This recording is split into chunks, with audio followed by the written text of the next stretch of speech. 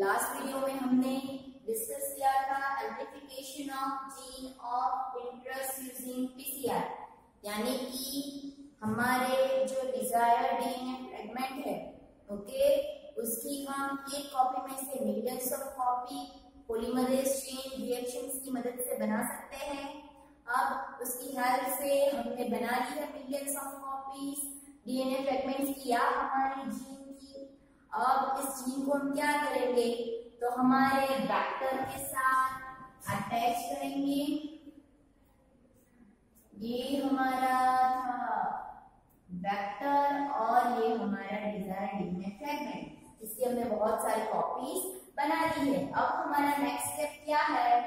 तो insertion of recombinant DNA into the host अब host के अंदर डालना है। तो ये भी स्टेप हमने देखा था। कि होस्ट के अंदर हमें हमारे वेक्टर को डालने से पहले होस्ट को क्या बनाया जाता है? कंप्लीटेड बनाया जाता है, उसे कंप्लीट किया जाता है, जिसकी हेल्प से इजीली वेक्टर उसके अंदर एंटर हो सके। अब हमारे ये डिज़ायर डीएनए फ्रैगमेंट है, उसके अंदर भी हम क्या करेंगे? तो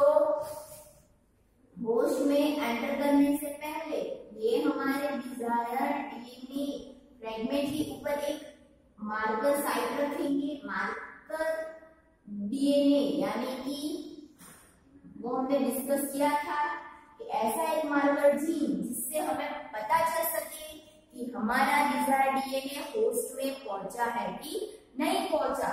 तो यहाँ पे हम लेंगे as a marker gene amp ampicillin resistance gene तो यहाँ पे हम एम्फिसिलिन रेजिस्टेंस जीन लेंगे, वो ऐड करेंगे। अब हमने क्या किया? तो ये हमारे डिज़ायर डीएनए फ्रेगमेंट को होस्ट में डाल दिया है। ओके अब ये होस्ट में पहुँच गया है मार्कर जीन के साथ। अब ये होस्ट बैक्टीरिया जो है, उसे हम कल्चर यानी कि एक जिसके अंदर जब किसी को भी न्यूट्रिशन मिलेगा तो वो ग्रोथ करेगा ओके तो ये भी ग्रोथ करेगा। अब यहाँ पे हम दो मीडियम प्रोवाइड करेंगे। एक में क्या है? एक में मीडियम में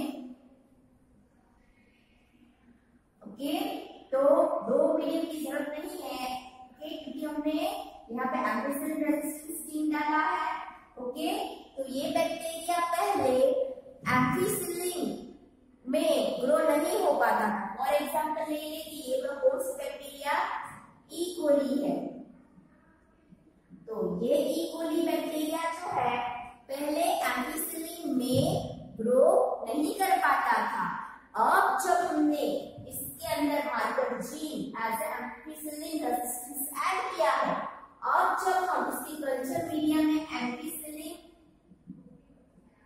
डालेंगे तो क्या होगा तो क्या होगा कि इक्वली तो पहले क्या था कि उसके पास रेजिस्टेंस चेंज नहीं था तो वो मर जाएगा। लेकिन हमने जब इसके अंदर हमारा डिज़ायर वेक्टर डाला था। इसके साथ साथ एक रेजिस्टेंस मार्कर चेन भी डाला था। तो अब क्या होगा? अगर ये एंटीसिलिन वाले मीडियम में ग्रो होगा इट मींस कि हम कंफर्म हो जाएँगे कि हमारा जो डाला हुआ डिज़ायर डीएनए है वो पहुँच गया।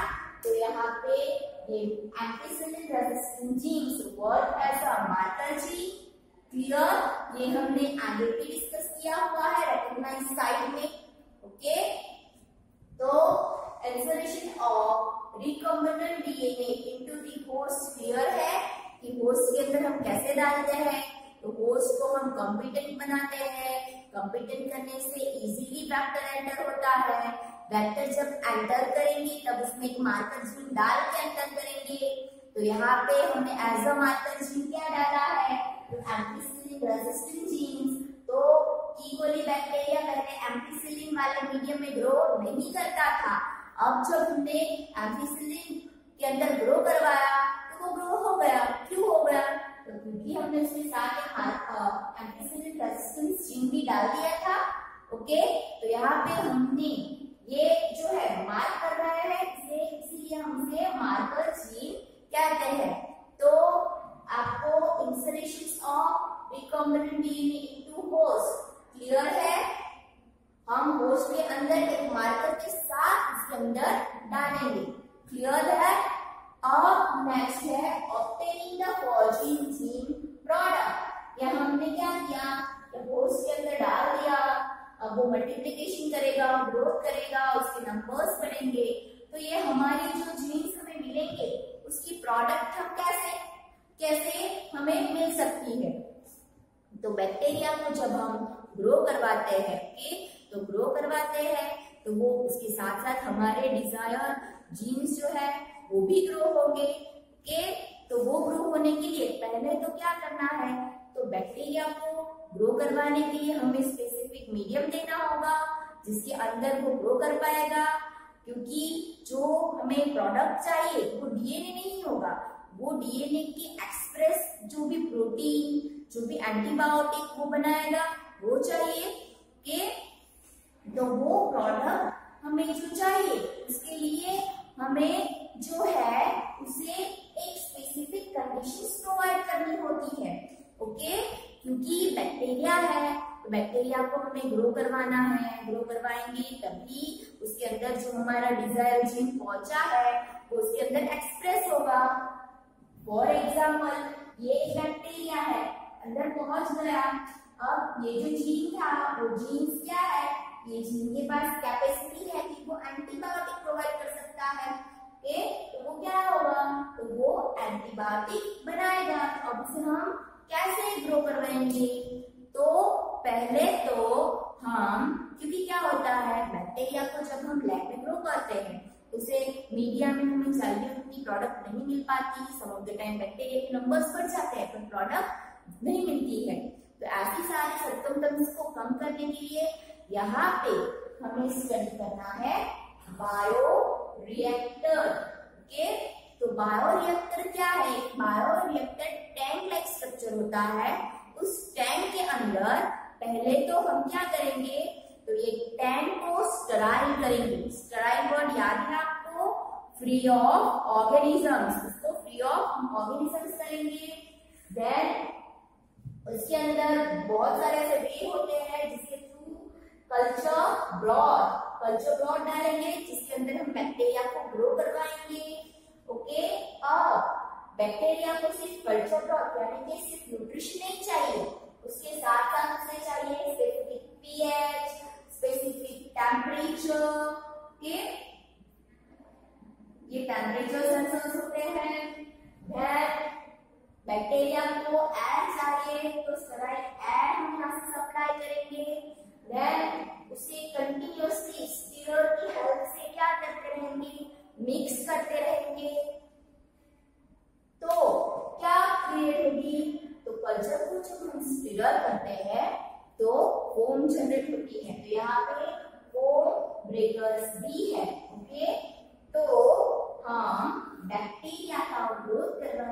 ऐसा एक बायो रिएक्टर यूज़ कर सकते हैं। आप इस डायग्राम को देखो ओके एक सर्कुलर टैंक है, जहाँ पे वाटर है जो कि इसे स्टीयर कर रही है, घुमा रही है। तो सभी जगह पे इक्वली न्यूट्रिशन मिलता है फिर ये ब्रॉथ है ओके यहाँ से स्टराइल एयर पास हो रही है। तो ये जो है सिंपल स्टीयर टैंक है, जो कि सिर्फ़ एक जगह से सिंपली एड्स आ रही है और घूम रहा है। ये टैंक में है मोटर है टेम्परेचर सेंसर है पीएच सेंसर है ओके मीडियम है, वो सारी चीज़ें सेम रहे बट इसमें जो है ना, जो स्पार्क स्पिरिट टैंक में डिफरेंस यही है कि यहाँ पे बबल्स फॉर्म में एयर सप्लाई होगी ओके तो एयर क्या करेगा तो यहाँ पे सब जगह पे इजीली एयर पहुँच पाएगी और सरफेस एरिया भी आगे ऊपर कंटिन्यूसली स्टील हो रहा है तो अच्छे से मिलेगी ओके तो ये दो टैंक में डिफरेंस ही है यहाँ पे सीधी जा रही है एक जगह पे, और यहाँ पे बबल्स फॉर्म में जो है सप्लाई हो रही है। ओके? तो बायोरिएक्टर ध्यान रखना, ये सिर्फ़ आपको डायग्राम में भी डायग्राम फॉर्म में भी एग्ज़ाम में आ सकता है।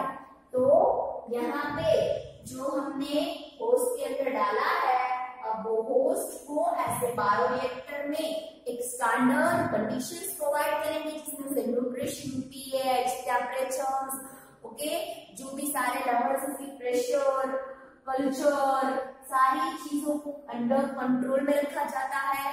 इसमें से एक ऐसा भी पार्ट होता है कि इसमें से हम थोड़ा पार्ट निकाल लें टेस्ट करें और पता चल सके कि हमारे प्रोडक्ट कितने लेवल में है तो ये सारी फैसिलिटीज़ इसके अंदर होती है ओके और इसमें से हम निकाल के चेक कर सकते हैं बाद में एट द एंड जब हमारी प्रोडक्ट इस बायोरिएक्टर में बन जाए हम उसमें से डाउनस्ट्रीम प्रोसेसिंग यानी कि आप प्रोडक्ट बन गई है। डाउनस्ट्रीम प्रोसेस के थ्रू हम इस ब्रॉड में से देर आर वेरियस मेथड्स होती है जिसमें से हमारी प्रोडक्ट जो है, उसे हम इसमें से केमिकल प्रोसेस के थ्रू डिफर कर सकते हैं सेपरेट कर सकते हैं और हमारी डिज़ायर प्रोडक्ट हमें मिल सकती है। Okay okay? तो यहाँ पे आपका जो चैप्टर है वो खत्म होता है।